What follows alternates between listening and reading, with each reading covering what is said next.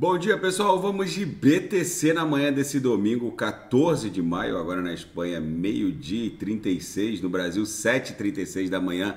Eu estou no gráfico de 4 horas ancorado pela banda de VWAP semanal. Aqui nesse meu setup da banda de VWAP semanal, eu coloquei a virada da banda para madrugada de, de sábado para domingo, porque o setup estava mais é, fidedigno, por assim dizer. Então a gente agora, nesse momento, está transitando um pouco acima da, da VWAP semanal que se formou na virada de sábado para domingo. A linha d'água tá agora baixou para 27,700. A linha d'água anterior segue em 28,890. Mas é para lá que a gente vai porque ela está se confundindo aqui com a linha superior da canaleta virtual de baixa na extensão. Então a próxima parada pela banda de VWAP semanal seria a linha d'água recuada que baixou para 27,500.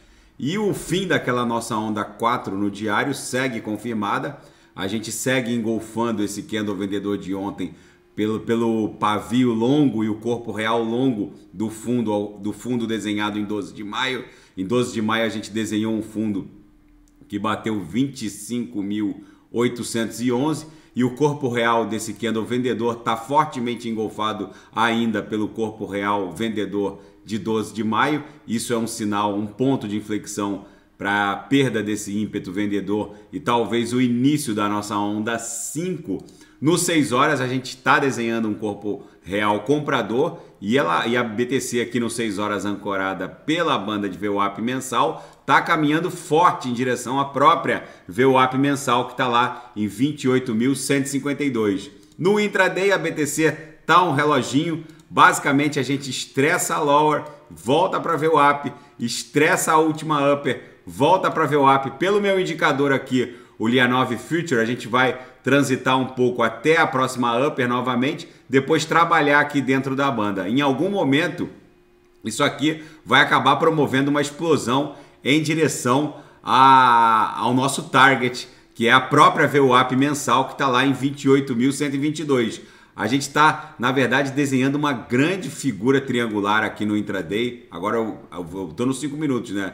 A gente segue desenhando uma sequência de fundos ascendentes. Os topos também estão descendentes. Parece que a gente está se aproximando do bico de uma grande figura triangular aqui nos 5 minutos, que provavelmente vai redundar numa explosão ascendente. Ontem, os sinais na sala de sinais fecharam no gain. No cop trade, boa parte dos sinais fecharam teve um ou dois stop loss, mas eles são compensados pelo lucro é, das operações. Daqui a pouco eu vou ofertar sinais tanto na sala quanto no cop trade.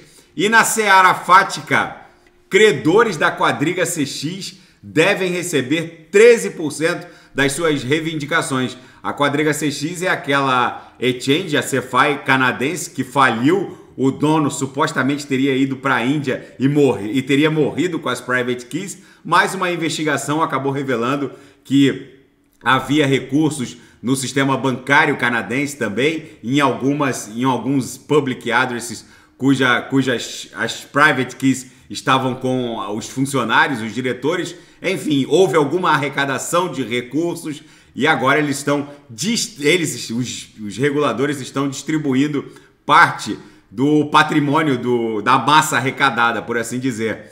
E a postura cripto oficial da China permanece inalterada, mas um movimento é, bancário em relação a Hong Kong é surpreendente. Um movimento bancário estatal chinês surpreende é, a indústria cripto em Hong Kong. Alguns bancos estatais chineses estão um crypto-friendly, por assim dizer e estão abrindo cada vez mais conta, contas bancárias para a indústria cripto, num, no que parece ser um contraponto à postura norte-americana em relação à indústria criptográfica. Parece que a, essa repressão à criptografia nos Estados Unidos está, está ganhando um contraponto chinês que, surpreendentemente, está se tornando é, crypto-friendly, pelo menos em relação aos bancos estatais que operam com a indústria cripto de Hong Kong. Vamos ver se isso é mais um capítulo da guerra geopolítica entre China e Estados Unidos ou é só alguma mudança de postura do Partido Comunista Chinês e do regime de Pequim em relação à criptografia. E a TRX supera a ETH e a Binance Smart Chain na quantidade de public addresses ativos diários, mas perde em outras métricas como TVL bloqueado, enfim. A TRX, a Redtron, é fundada pelo Justin Sun, já, já iniciou as suas operações cheias de polêmicas.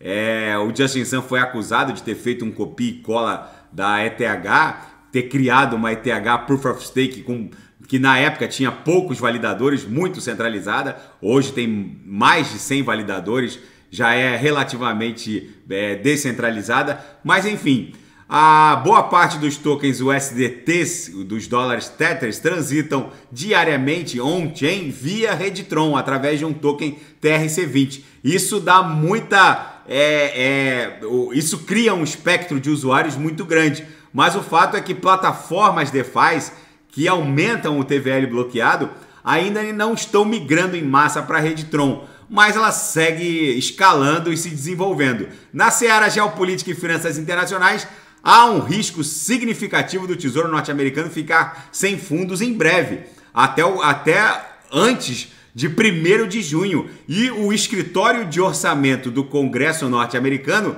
previu que os déficits anuais do governo dos Estados Unidos vão praticamente dobrar até o início da próxima década.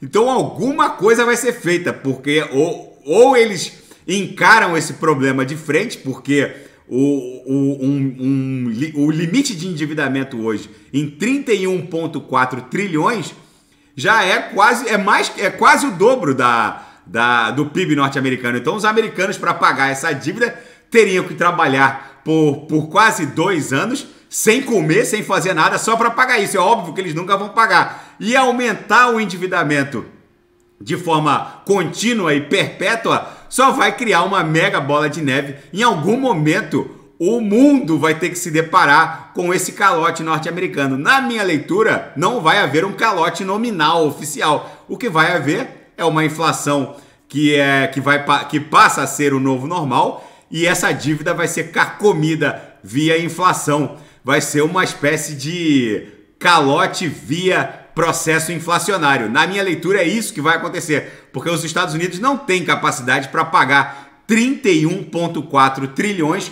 com um PIB de, de, de 20 trilhões, ou seja, é bizarro o que está acontecendo. E a Turquia vai às urnas nesse domingo e uma eventual derrota de Erdogan provocaria alívio no Ocidente e muita inquietude em Moscou. Líderes, líderes europeus ficariam encantados em ter uma Turquia de mais fácil trato do que a Turquia de Erdogan.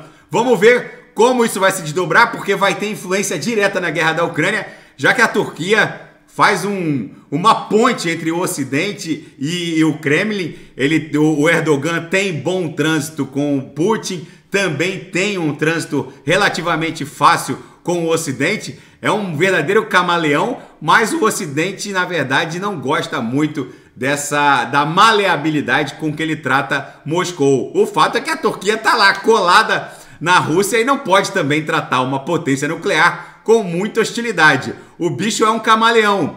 E a startup que promete levar seres humanos num tubo de vácuo a mais de 800 km por hora, a Hyperloop, fechou um acordo com o governo italiano. Eles vão fazer um, um criar um protótipo e promover a, o transporte num trecho de 40 quilômetros entre Pádua e Veneza. A Hyperloop é, promete investir, dando certo essa, esse protótipo, pro, promete investir 800 milhões de euros num, num trecho maior. Enfim, eles estão em, em cooperação com uma, uma operadora regional de rodovias, a Venetian Motorway, na Itália. É, eles tentaram fazer criar um trecho maior nos Estados Unidos, mas os órgãos de segurança é, exigiram mais testes. Na Itália, os testes foram bem sucedidos e agora eles vão promover o transporte de seres humanos nesse tubo de vácuo em que o sujeito entra nessa cápsula que parece um, um trenzinho fantasma e entra num tubo de vácuo que é capaz de transportar pessoas a mais de 800 km por hora. O Elon Musk tem uma startup parecida, mas até agora não saiu do papel. Daqui a pouco eu vou ofertar sinais na sala de sinais no Cop Trade e quem quiser sugerir é só colocar nas mensagens abaixo. abaixo. E quem quiser também é, ter acesso a esse indicador, o Lianove Future, é só assinar o Clube Ouro que eu disponibilizo o acesso é, via TradingView, é só disponibilizar o nome de usuário que eu disponibilizo. Ele antecipa e prognostica os 50 candles subsequentes aqui nos 5 minutos